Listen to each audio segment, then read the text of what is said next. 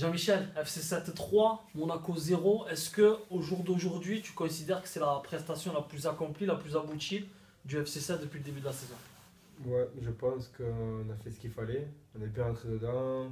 Euh, tout le monde était impliqué. Vendredi, fin hier, on a beaucoup parlé, quoi faire? Toi tu fais, toi tu fais ça, il fallait se battre, etc., etc.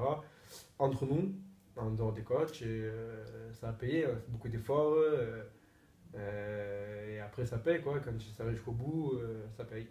sur, euh, sur la physionomie du match, on peut dire que ce, ce but assez bizarre contre, euh, contre le- leur camp vous a quand même bien facilité la tâche et vous a mis énormément en confiance. Il fallait qu'on ait un peu de chance. hein. Ça fait je sais pas combien de matchs que devant on n'arrive pas à marquer, ou on prend un coup franc à la 70e, des, des trucs comme ça. Et voilà, à force de bosser, d'être sérieux, on savait que ça allait tourner. Et ce match-là, ça a tourné en notre faveur. Et après, on a su, euh, pas, pas comme Fréjus, à, pas comme à, à, à être derrière, à, rester le 1-0. Là, On a dit qu'il faut qu'on pousse, faut un deuxième et un troisième. Et voilà, pour, pour, pour les couper dans leur élan. Et ce qui s'est fait, ils ont pris un rouge, etc. Après. euh, après tout s'est enchaîné. Alors, euh, le prochain match de championnat, vous vous déplacez contre le, le leader actuel, Marignane Gignac. Comment vous l'envisagez ce match? Est-ce que vous l'envisagez avec euh, un peu plus d'appétit, un peu plus de gourmandise par rapport à ce 3-0 ou vous y allez quand même prudemment Franchement, euh, pour moi ce match était un peu plus décisif dans le sens où il fallait vraiment qu'on gagne pour pas être en retard. Et je pense que Marignane, les connaissant, euh, parce que je joue là-bas, je sais qu'ils sont largement prenables et que si on réitère une, une prestation comme on a fait là, euh, pour moi il n'y aura pas photo parce que parlant avec eux, je sais, je sais qu'ils ne sont pas dans une bonne période malgré qu'ils gagnent. C'est un peu plus compliqué. oui. Mais euh, je pense qu'on a, on a largement de quoi faire. Euh, et Monaco, ils étaient 6e, nous 12e, et on voit euh, qu'on leur- arrive à leur mettre 3, même si l'équipe elle tourne tout le temps, mais, euh, mais je pense qu'on n'est pas à notre place et je pense qu'on peut aller titiller n'importe quelle équipe.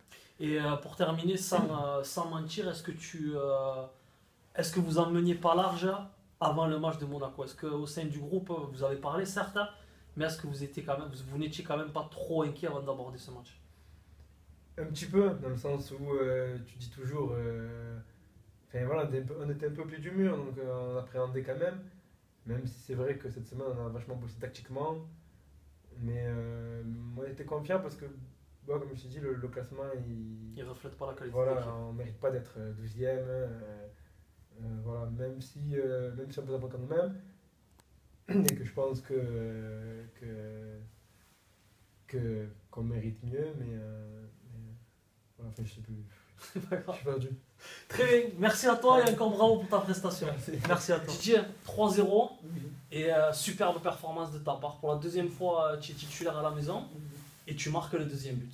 Euh, ben, ça, fait, ça fait plaisir. Euh, En ce moment, je me sens bien et avec le match, l'équipe et tout, euh, on avance, on continue à progresser, c'est ce qu'il ce qu'il faut. hein. Alors tu viens de, de Frontignan, toi Oui. Est-ce que tu euh, tu t'es inquiété que c'est vrai que tu as commencé donc la semaine dernière, Oui. le coach t'a pas trop utilisé jusque-là. Est-ce que tu commençais à t'inquiéter ou tu attendais patiemment ton tour pour prouver tes qualités? Je m'inquiétais un peu, mais en tout cas, je me disais qu'au bout d'un moment, le travail paye. Donc j'ai continué, j'ai continué, j'ai gardé. Faut garder espoir Tu toujours. marqué Donc, en euh, réserve également? Oui, donc euh, je me disais qu'au bout d'un moment, euh, ça allait pas rester comme ça et je continuais. Je faisais confiance au coach, je me disais qu'il il allait faire des bons choix.